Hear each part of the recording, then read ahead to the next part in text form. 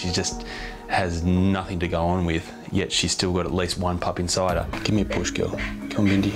If there's still a kitten in there 12 hours after the rest of the litter's been born, we're going to need to do something pretty quickly. You all right, mate? From what women tell me, mastitis is one of those awful conditions that just feel terrible. A real throbbing, awful pain that just won't subside.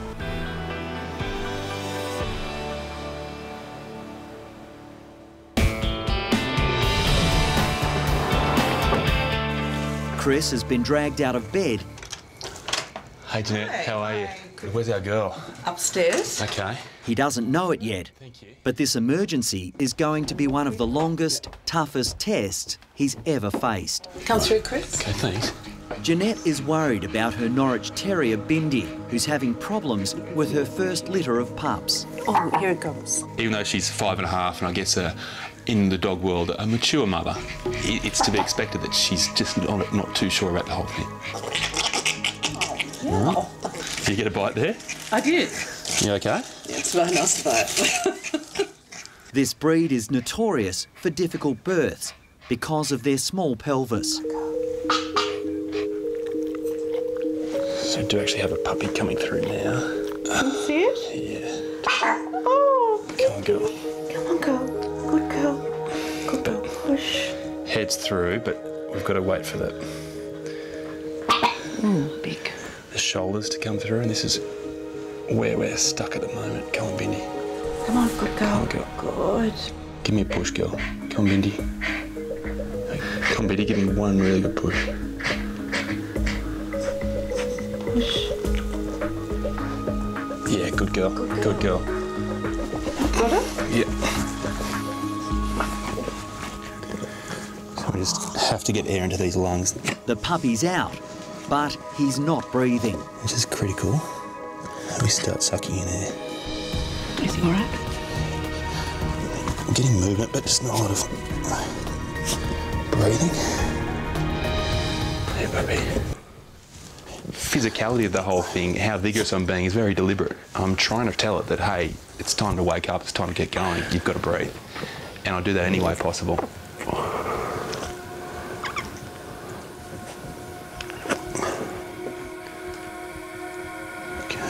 Little bit more movement.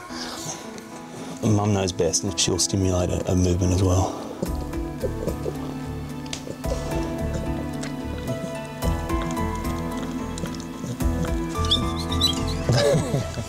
It's moving. At last, Bindi's first puppy is showing signs of life. God, he's real. oh, you little squeaker. Look, Bindi. Little boy. Relieved, because I must say I didn't think that little pup was alive. Oh, And you got kissed by me, sucked in. Chris, well done. That's fantastic. Thank you. That was hard work. It was, wasn't That it? was hard. Now admit it. Hey, admit it? Yes. I admit it. Bindi's contractions have started again, and there are more complications. The second puppy is in a dangerous breech position. It's sort of the position that vets dread. It has horrible connotations, and when you've got a head coming through, you can grab the head and pull that with the shoulders. But with this, you, you're grabbing hold of slippery toes, and that's it. It just makes a nightmare. I can feel the the hips and and the shoulders trying to force their way through that pelvis, and they're just too big for it.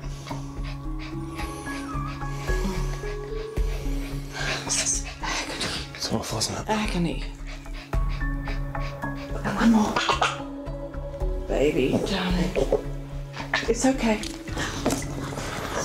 Got it? Yep.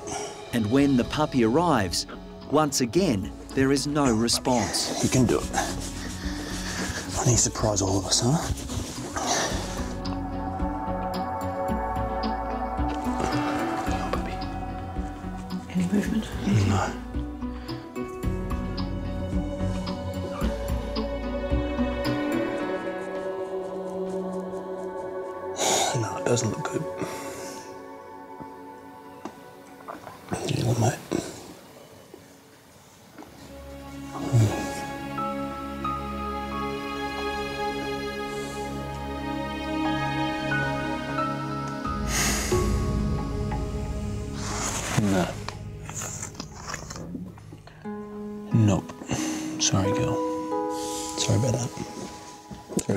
Certainly tried. My God, it's been a hard, a hard night, hmm. isn't it? It's not over. Oh my God, how can we do anymore? Hmm. I didn't know whether Bindi could take any more. She needs a rest, but I, I guess whether her body's going to let her have a rest is, is another thing. Chris faces a dilemma. There is at least one more puppy to come, and Bindi is now too exhausted to push. Didn't work out the way we wanted it to, did it? Next one will be okay, they won't. Yeah? No, it just hasn't moved. No, okay, let's go. No. Okay. Good try. Let's do it. Yep. Bindi has been in labour for six hours, and Chris has decided her health is now at risk. She just has nothing to go on with, yet she's still got at least one pup inside her. Leave it any longer, we risk that pup. I just think it is worth now going to caesarean. The emergency surgery will be performed back at the Bondi Clinic. Just through the back here, Jeanette. I'm just getting a bit of a second wind now at 4 a.m. is that what it is? 4 a.m. almost? The first puppy is stable and is being fed some much needed milk.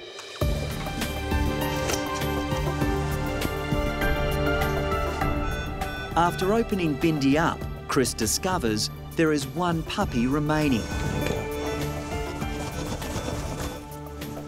But the little girl is lifeless. Scream like you hate it. Oh.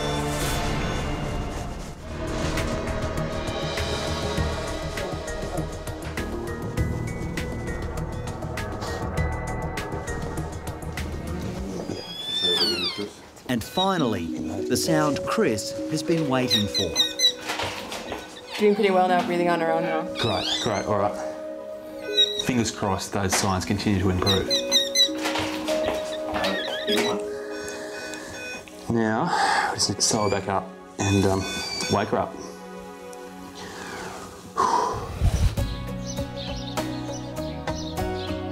Bindi's waking up from the anaesthetic and is recovering well from her marathon ordeal. That was hectic. hey, Mum, you know this one? You know this one? Hmm? Yours. You know you actually can't get out of this one. We do have video footage to prove this is actually yours.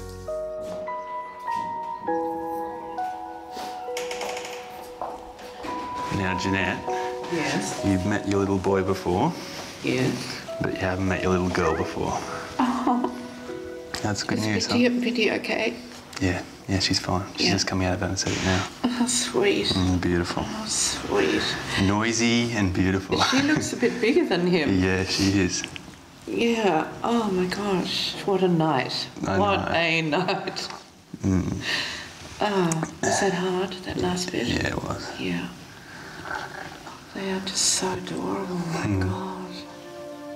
You're clever, clever girl. Mm. When Jeanette checks on Bindi, Chris can finally raise a delicate subject. And Jeanette, this is a bit embarrassing. We've come all this way, yet they don't look like purebred Norwich Terriers. What? Who's dad? He's a Jack Russell. Jack Russell crosses, are you? That explains a lot. The only name we had was for the boy, little Bone, little Boney. Bindi's mother was called Juliet, and we thought we should name a girl after the mother, so she might be Juliet.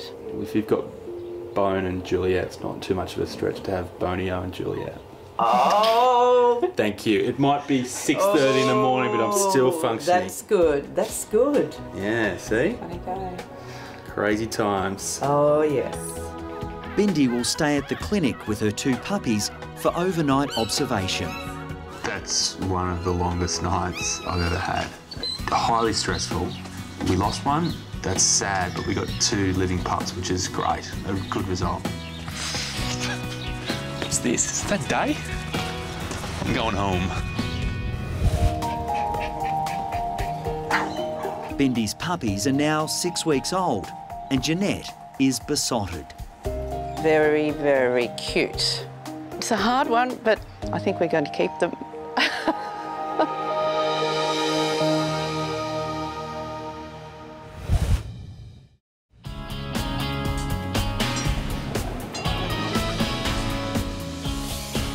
It's okay.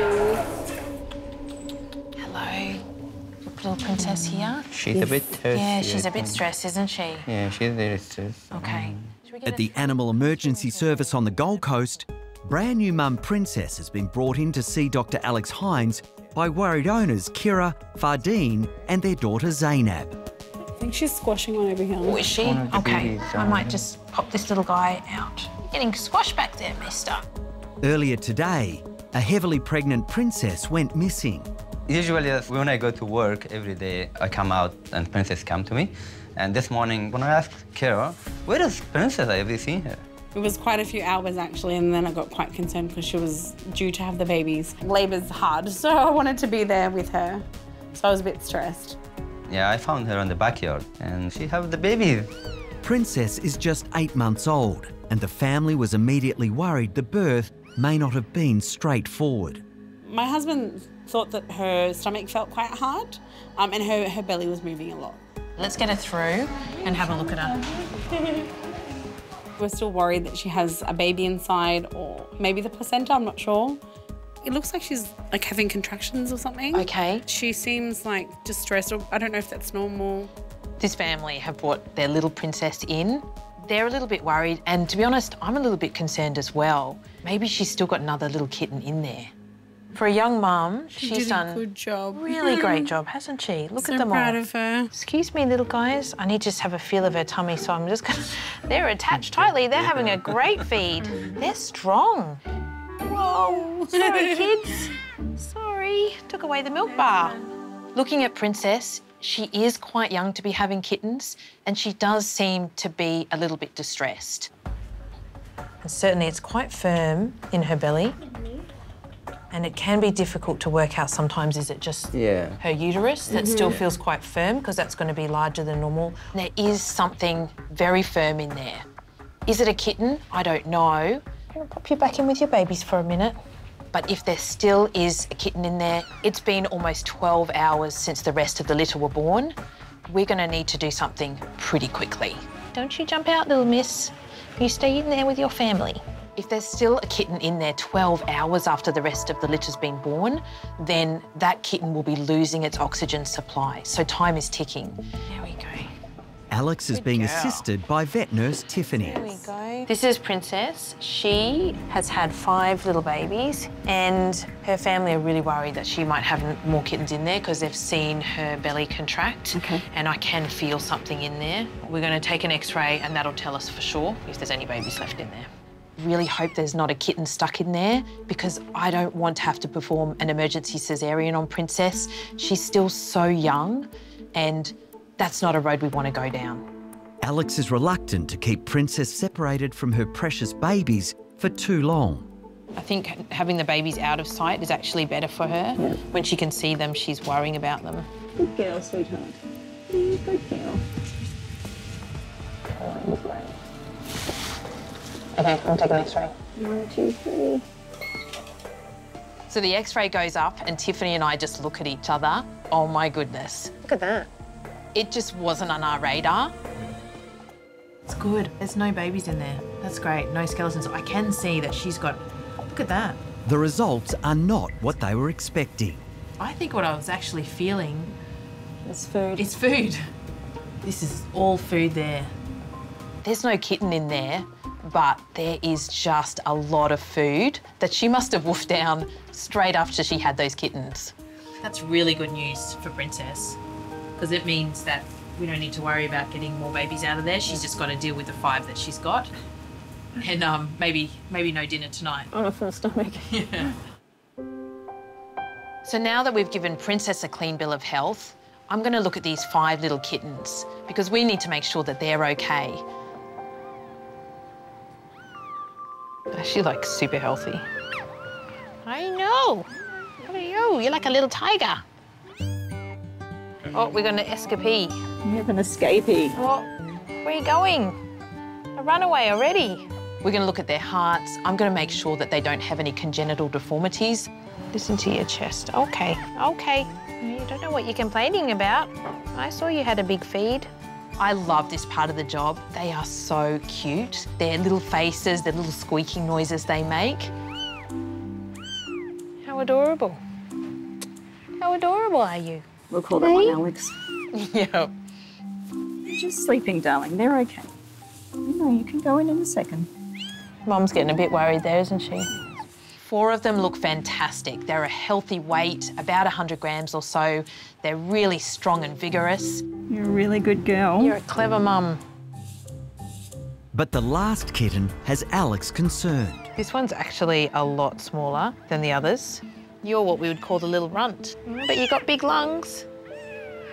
This is the one they'll need to keep an eye on because those other ones are so strong and in that situation, this little guy could end up missing out.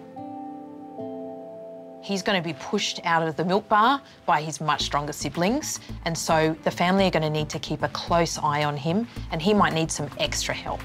So we've got five healthy babies, one healthy mum, no hidden surprises in there. Great. I think we get back to them and let them know the good news. Yeah, great. Oh, you're like a little tiger. Hello.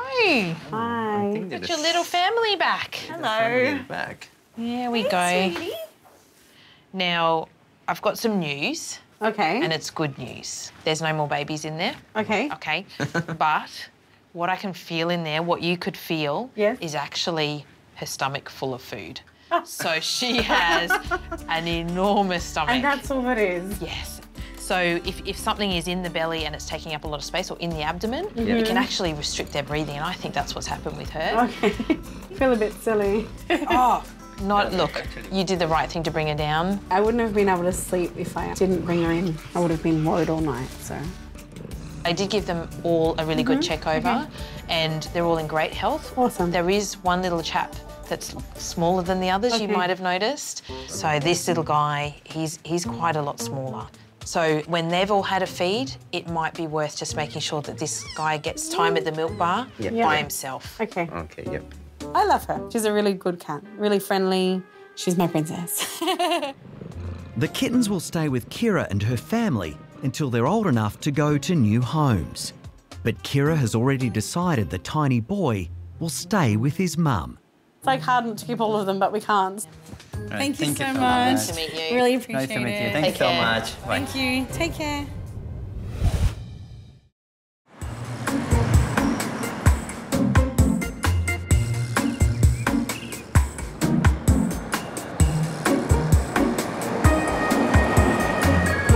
Scott's now heading off to Berkshire to visit another one of his favourite women at her rescue sanctuary.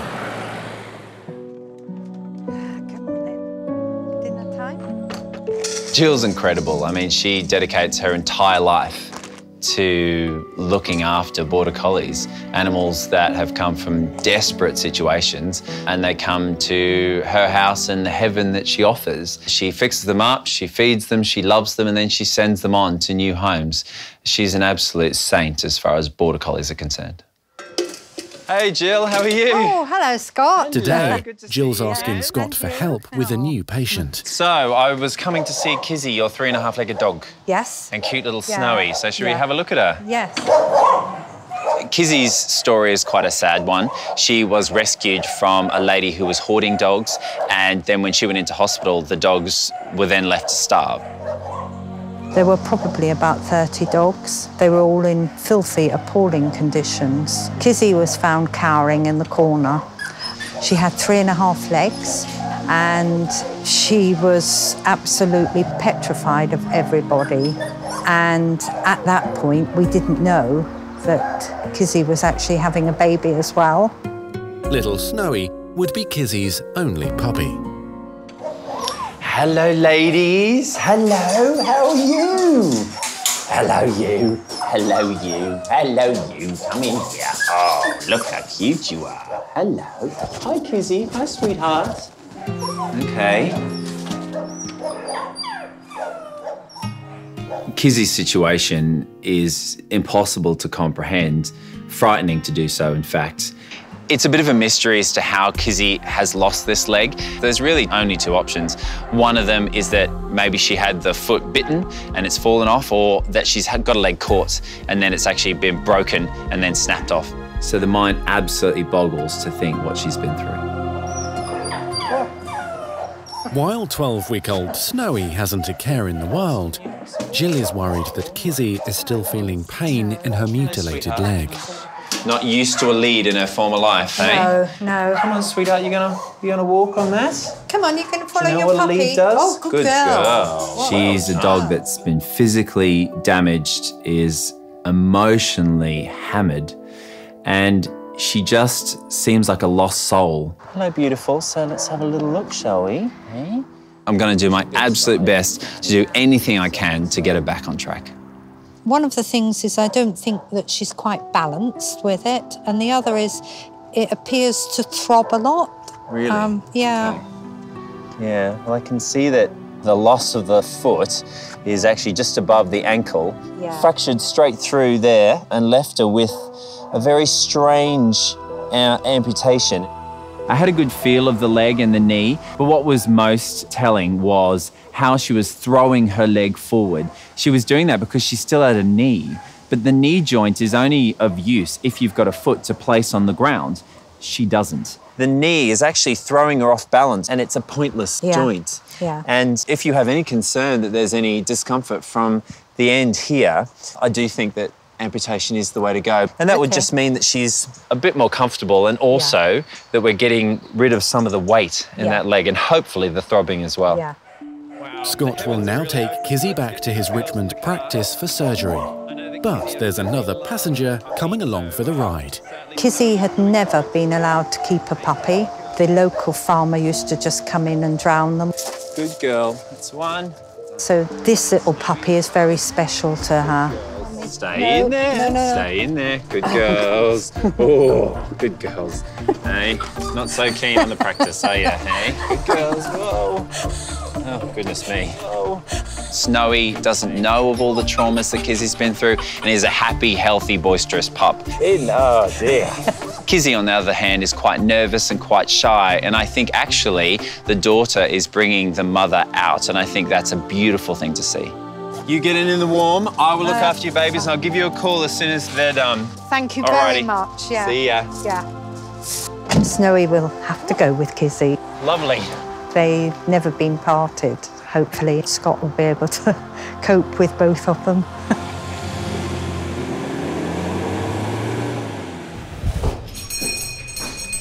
Hey, Nate. I've got double trouble today. Back at Richmond, Scott has also got his hands full. And this is Mum Kizzy. I'll try and see if she'll walk for me. She's pretty nervous. She's very shy, and understandably so, uh, considering everything she's been through. Come on, sweetheart. Good girl. Wow, there must be so much more extra effort on that. Yeah, yeah, and it's basically just throwing her completely off balance. She's throwing that knee forward, but she hasn't got a foot to place on the ground. What her treatment needs to rely on, of course, is fixing what we can physically, and then hoping that with time and the right new owner, that she will emotionally and mentally come good. Good girl. Let's get Kizzy is booked in for surgery tomorrow, so Scott has relaxed the rules to allow Snowy to stay overnight as well. The 12 week old puppy has never been separated from her mum. There's a puppy. It's all right. Yeah. Yeah. Snowy being around reduces Kizzy's stress levels, and of course, going into a clinical environment, that's all important. Good girls. Mm, good girls. Well done. One of the reasons why I love doing work with rescue animals is just to remind yourself that there are animals out there that desperately need your help and attention. I think it reignites your passion and why you'll continue to do the best job that you can to protect animals.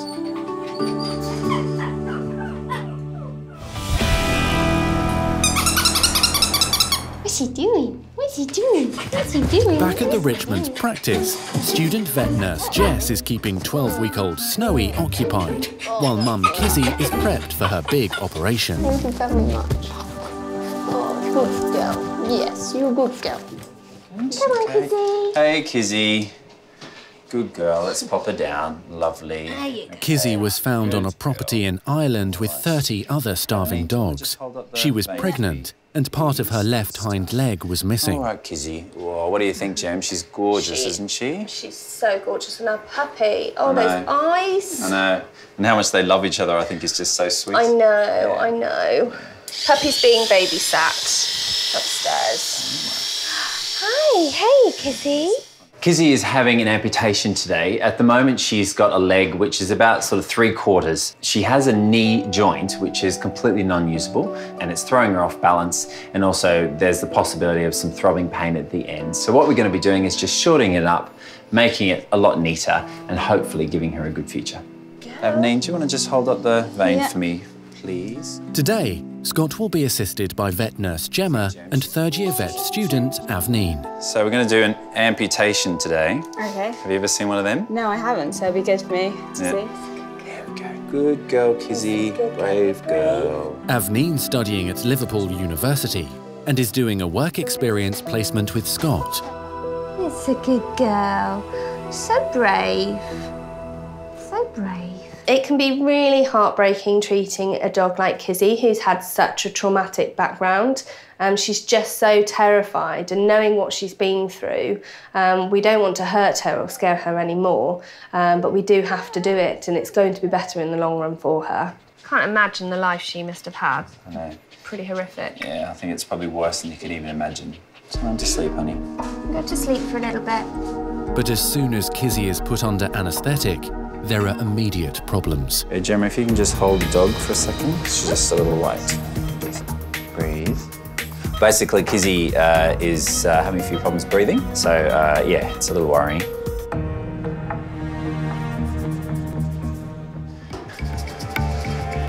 Breathe. Kizzy is struggling to breathe after being anaesthetised. I'm pulling the legs out and in to try and encourage Kizzy to breathe. I'm also giving her a bit of a rub and pressing on her chest, just trying to stimulate that breathing reflex. Come on. There we go, that's better. Thankfully, she's starting to breathe. A little bit of a scare there for Kizzy. Hey, not a good start. Now that Kizzy's breathing is stable, the amputation can begin. The rescue dog was found with part of her left hind leg torn off. It's a big operation for Kizzy, and it comes with its own set of risks. Of course, she could have major bleeding, uh, and she might even have sort of phantom pain as a result of losing the leg. But fingers crossed, it should go very well. Certainly not the most elegant of procedures. It's not something that you want to do as a vet, but uh, in this case, it's, it's absolutely going to make her life better. For third year vet student Avneen, this will be some initiation. Expect to see a lot of blood, quite a bit, um, and hopefully just a smooth operation. Hopefully things go well.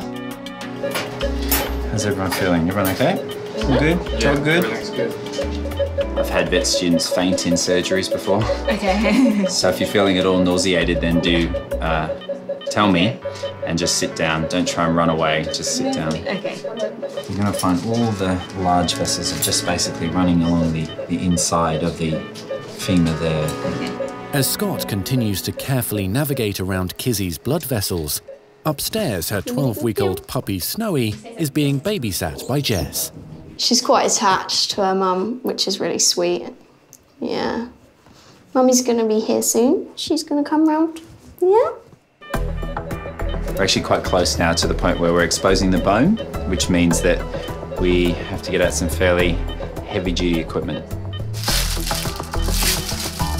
We are now just about to saw through the bone. Uh, so if you are delicate of stomach, look away now.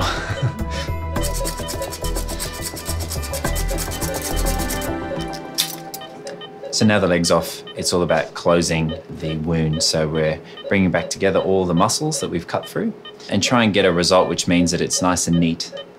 Let's get this little lady working up next, shall we? So Avneen, you're welcome to deglove and degown. Thanks very much. Thank you. Kizzy's operation has gone really well. The vet student didn't fall over and faint, and all the nurses did a great job. So yeah, really, really happy. Kizzy's woken up beautifully and she seems comfortable. So yeah, it's great. It's time to see mummy again and be nice and gentle. Okay, she's had a big operation today, hasn't she? Here we go. Whenever I see cases of animal cruelty, obviously you feel a bit sad, but more than anything, I feel overwhelming anger. These are defenseless, innocent animals that just don't deserve the fate that they are suffering. And so when I see cruelty like that, it just plain angers me. Oh, no way. That's all a bit much, eh? Hi, Jill. Hi, Scott. Look who I've oh. got. Let Oh, me give you kissy. Snowy. Oh, Snowy. Oh, oh, did you miss her? Hey, did you miss Mummy? Next day, Kizzy's recovered well enough for Scott to take her and Snowy home to Jill's rescue sanctuary. Kizzy Wizzy. Oh, sweetie. Hello. You okay? When Scott came through, I felt very relieved to see Kizzy looking really quite bright after such a massive operation. Right, Jill, well, I'll let you see it in all its glory, and you better see just how well she's managing Oh, on those wow. three legs. Yeah. It's not like she's uh, not used to walking on three legs. no. It's just a little bit neater now. Yeah, yeah. She's off. That's yeah, it. she's off. I think having that flapping leg removed is going to be so much easier for Kizzy. I think she's going to be a lot more comfortable. It's amazing that she behaves as she does, considering where she's come from, because all this must be quite traumatic for her because she's never been out of that awful home. Terrible. Kizzy has amazed me the way that she's dealt with the procedure. She is such a brave dog, but it's because of her history. She's had such a dreadful past that what we've done is just a drop in the ocean. Is that your mummy? There. Hopefully now it's a case of she's perfect. Uh, she's just got a little bit of healing to do, and then it's off to find a new home. Yeah, it's wonderful. Thank you so much. Oh, you know what? It's it's just such a small thing compared to what you do every day. Well, no, it isn't. It's a big thing, a very big thing. Well, I'm just happy to be a And, uh, part yeah. of it. It's been a wonderful result, and we're so grateful to Scott for what he's done. Very grateful. Good luck, girls, in finding a new home. It sounds like this cow has milk fever. Now, this is a condition I've heard about but never ever seen in real life. What I do know about it though is it makes the cows incredibly unpredictable, so this could be a real challenge.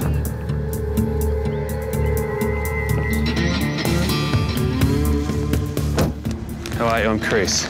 Jenny, Hey, Jenny. Nice to meet you. you too? Penny, is it? Yes, Penny. You relax, it's okay. Penny has just given birth to a bull calf, and the new mother can't get up. Is she a little bit temperamental at the moment? Ah, she is actually, yes. Yeah. It's a bit of a hard calving. Owner Jenny is extremely worried. Milk fever is a life threatening condition that affects new mums. These cows produce a lot of milk all of a sudden just when they're coming into delivering their calf. All that calcium going straight into their udder means they become quite deficient themselves. A lack of calcium in their body means their muscles can't contract. They don't have any strength to get themselves up. So the point of putting this rope around like this is really just to try to keep her still. Because with this condition, the problem is she becomes quite erratic in her behaviour. And for her to have the best chance of standing up right now, she needs to keep still. Try telling that to a 600 kilo cow. Oh, yeah, yeah, yeah, yeah. Now that I do have her restrained, it's important really that we assess where she's at, make sure she does have milk fever, and then straight away get into fixing it. One of the big telltale signs of milk fever is that there's just absolute silence inside when there should be constant gurgling, at least every few seconds. Yeah, absolute silence, Jenny.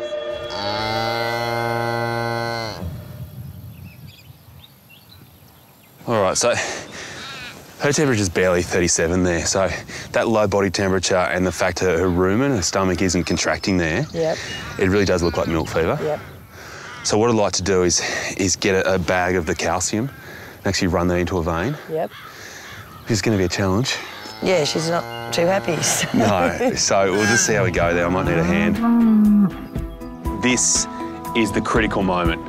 If I put the calcium in too quickly, she'll have a heart attack and she'll die.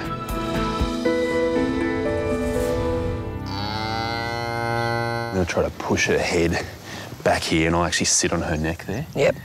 And that should give me a good exposure to a, to a vein. Hey, hey, hey, it's all right, it's all right. No, no, no, no, no. The plan is to get the bag of calcium, put it straight into a vein. From there, it goes into a circulation, into the muscles where she needs it, and hopefully that's enough to help her stand up. So, Jenny, I'm just going to whack this needle in the, the vein right here. Hope you get the vein. You don't look like you've got a lot of faith in me. as long as you get it in the vein, I'll be happy. You know I am actually a real vet. Jeez. It's nice to know someone's got confidence in you. isn't it? The Frisian isn't the only concern for her owner. Just give me that there. Jenny is also worried about the city vet. I didn't realise he was an actual vet. I thought Bondi Vet was um, just a drama, yeah. I spent five years at uni getting this degree. I didn't spend a couple of weeks at a weekend drama school. Jeez, tough crowd. I'm going to keep the pressure on, on her neck, but just make sure that doesn't pop out. I just want to listen to her heart from here. Calcium can have a really toxic effect on the heart if it goes in too quickly.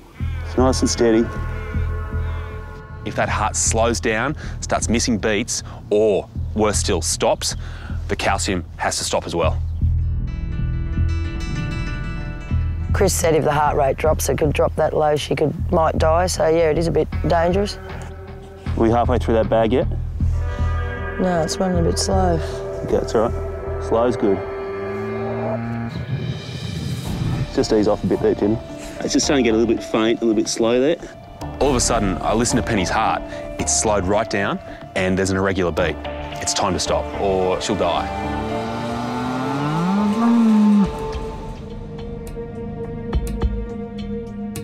So, gonna pull that. She's just reached a limit giving that calcium intravenously. So anytime you hear those beats starting to, to change, to go a bit quiet, to slow down or to become irregular, you know it's time to stop. Penny's treatment isn't finished because the rest of that bag now goes underneath the skin. That way she'll slowly absorb it and there's no risk of her heart having any sort of problems.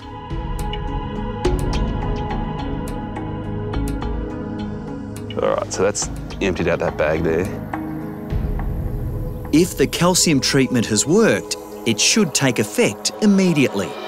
This is where it's going to get really interesting. You ready to jump? Yeah. So I want to get the halter off. I'm going to do the leg first, then the head. Yep. Then we're both going to Run. hold each other and hope. All right? Yep. I know you've been through a lot. Some people here think I'm an actor. So let's understand we've both been through a little bit. All right? Let's get this rope off. I couldn't agree more. Okay. Hey, hey, hey, hey, settle down, settle down, settle down, settle down.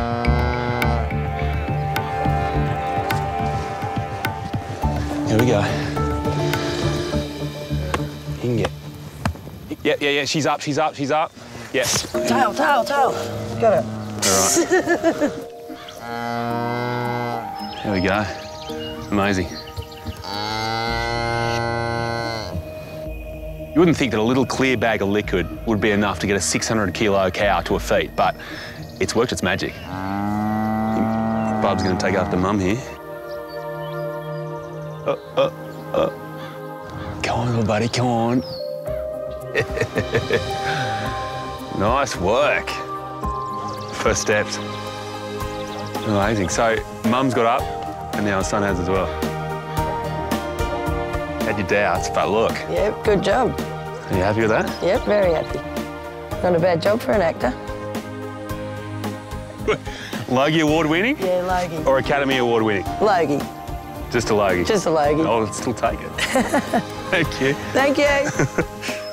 It hasn't been a bad day to see a big cow in trouble actually stand up with the help of the calcium and then see a calf take its first steps. It's pretty special. Hopefully now Jenny realises that I'm a vet.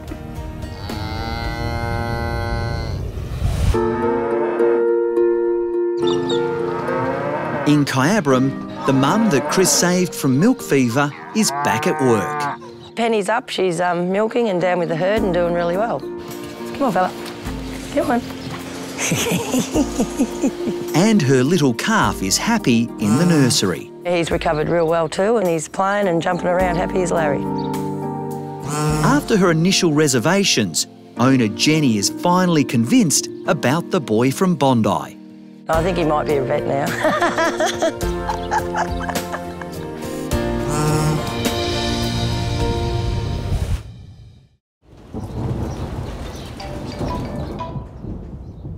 Hey Tim, how you going?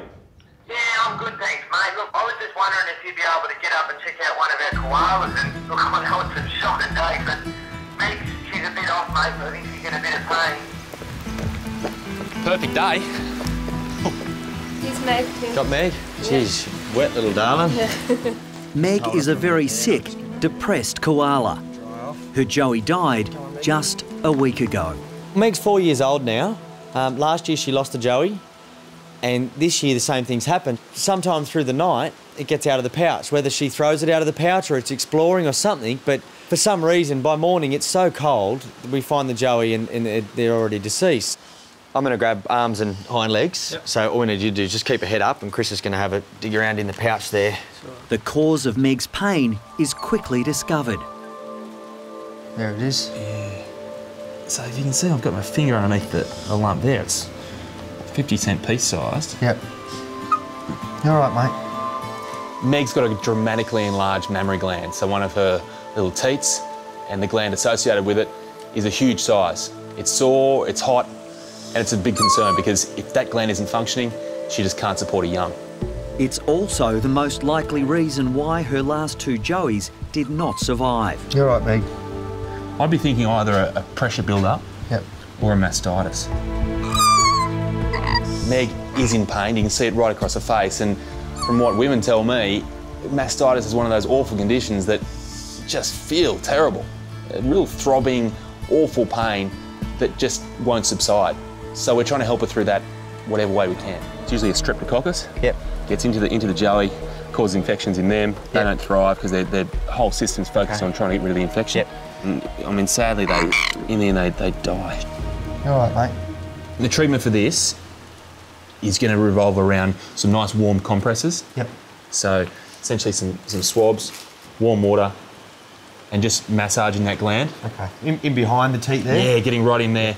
If we can break up that clot and just make it into liquid milk instead of the, the solid milk that it is, then we can get it flushing out and, and right out the end of the teat. The antibiotics should kick in soon to relieve Meg's pain. Once the mastitis is cured, Chris is hoping Meg will finally become a successful mum. Where she's comfy. She likes you. I don't think it's me. I think I'm, I'm skinny and I'm like a tree. Hey, you got the you got the touch.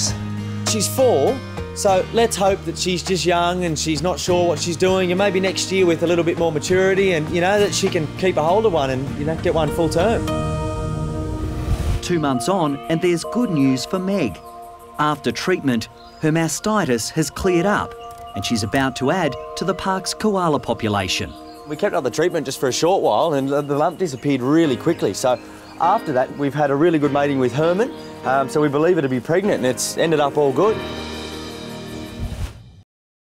Hi, I'm Dr. Kate. If you enjoyed this video, make sure you go and subscribe to the Bondi Vet YouTube channel. Click on the screen now to watch more great content. Or for new, exclusive, never seen before Bondi Vet stories, all you have to do is sign up at bondipet.com and we'll send you a link. We can't wait to see you there.